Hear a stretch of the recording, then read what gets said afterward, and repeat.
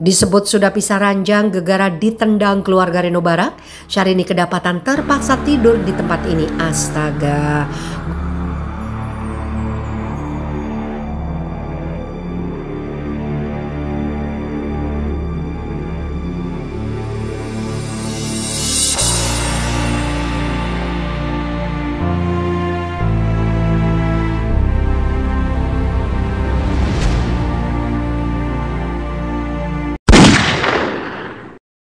Dapur berita artis terkini.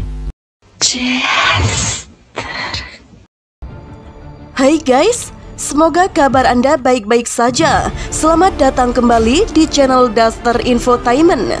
Terima kasih karena sudah memberikan support dan juga kesetiaan Anda untuk membangun channel ini. Gonjang ganjing rumah tangga Sarini dan Reno Barak kini ramai menjadi perbincangan. Dugaan makin diperkuat lantaran muncul satu persatu fakta soal hubungan mereka yang dikabarkan sedang tidak baik-baik saja. Wanita yang akrab disapa Inces dikabarkan sudah pisah ranjang hingga ditendang oleh keluarga Reno Barak. Baru-baru ini terkuak nasib pilu si Inces yang harus terpaksa tidur di tempat ini. Setelah pernikahannya dikabarkan karam, Sarini dikabarkan terpaksa numpang tidur di kamar salah satu stafnya. Hal tersebut dibocorkan akun @kongli underscore will never day belum lama ini. Sontak Asis Sarini yang pisah ranjang dan terpaksa tidur di kamar salah satu stafnya seketika mengundang reaksi banyak orang. Terus nanti mereka sekamar? Tanyanya. Enggak, nah ini aku mau nanya lupa tadi. Pada tahu nggak kalau mereka nggak sekamar? Ungkapnya dikutip Her Story dalam akun Instagram @kongli underscore will never day. Wanita 42 tahun itu nampak tidak canggung tidur di salah satu kamar staf Rino Barak. Antara sewa sendiri atau numpang di kamar staf, ujarnya menambahkan. Di sisi lain, berembus kabar yang menyebut jika kakak Isyarani itu sudah dilepeh keluarga Reno Barak lantaran tidak pernah terlihat bersama dalam berbagai kesempatan. Tiap acara keluarga nggak diajak, tahu-tahu siap dengan koper dan paperback sobek. Sampai udah tahu kok ada paperback sobek, staffnya atau yang bantu-bantu keluarga udah kayak gedek sambungnya. Namun seiring dengan berhambursnya kabar kerenggangan hubungan dengan sang mertua, Sarini hingga kini masih memilih bungkam.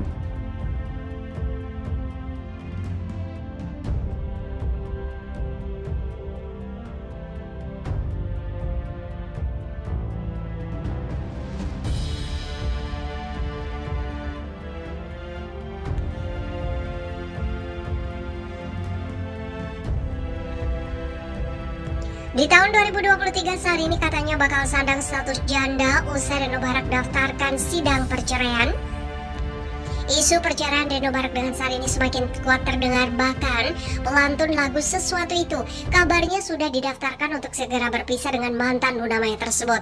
Meskipun Sari ini masih mengunggah kebersamaannya bersama Reno Barak, rupanya isu kabar buruk di balik rumah tangga mereka tidak bisa terhindari. Dikutip Hops.id dari akun @kongli underscore will never day, salah satu akun anonim berusaha untuk mengungkap keadaan rumah tangga Reno Barak dan Sarini. Konon, dari sekian banyak alasan keluarga Reno Barak meminta berpisah dengan Sarini adalah attitude yang dimiliki Inces, sapaan Sarini. Ketika Ibunda Reno Barak meminjamkan tempat usaha untuk Sarini, ternyata tidak digunakan dengan baik dan malah bertingkah semena-mena. Waktu nikah kan mau buka usaha, dikasih pinjam Cipete. Nah, tapi dikasih pinjam mestinya kan listrik sendiri, bayar tenaga sendiri, bersih-bersih sendiri. Ini malah nyusahin pegawai food desk ujar akun anonim tersebut. Ya ngamuklah ibu masaku ibu dari Nubarak karena hitungannya overtime sambungnya. Sejak itu disuruh tutup Untung barengan pandemi pungkasnya. Selain itu ketika Sarini tinggal di rumah mertua, ia mengajak hampir seluruh keluarganya Dulu kan pernah dikasih tinggal, tapi ternyata sepasukannya numpang tidur, bikin kepala sakit jorok katanya. Papar akun tersebut. Terus ponakannya nggak tahu aturan, sambungnya lagi. Jorok gimana sih ya kalau makan berceceran, nggak mau duduk, terus kaki diangkat, ujarnya. Katanya ada hal yang lebih fatal yang membuat ibunda Reno Barak ini geram kepada Sarini. Sarini terciduk pakai barang ibunda Reno Barak.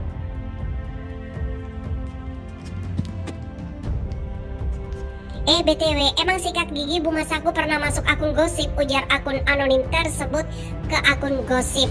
Bertanya Ngakunya mandi di kamar mandi Bu Masaku padahal cuma disuruh nyiapin air sama ngepel kamar mandi. Nah itu bikin Bu Masaku marah.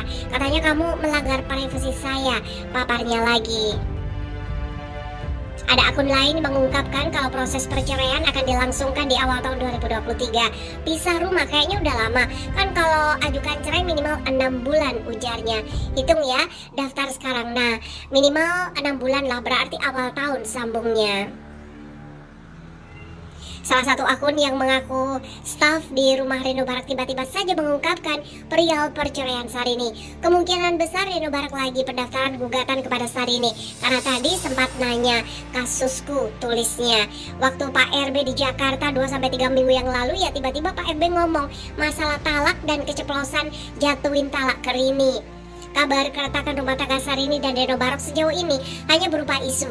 Belum ada klarifikasi dari keduanya. Terpantau, Inces masih rajin membagikan momen bareng suami di media sosial.